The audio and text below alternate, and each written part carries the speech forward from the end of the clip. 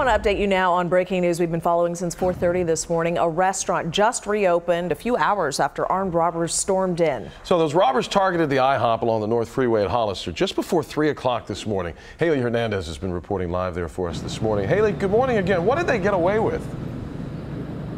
Good morning. So they actually came in here to steal some cash. And so when we arrived, there was a note on the door saying that they were closed until 6 a.m. So, yes, you would think that they'd be open right now, but they have reposted another note saying that they will not open until 7 a.m. I've tried to go up to the manager several times to try and get more of a comment. She's just telling me right now that she cannot talk to me. So, all the information we have is coming from police who are talking to us. They say that three suspects got in here and stole money from the safe about 3 a.m. The suspects were wearing masks and they did have weapons. Unfortunately, there's no other description at this time other than three suspects wearing masks. Reporting live at Highway 290 in Hollister, Haley Hernandez, KPRC, Channel 2 News.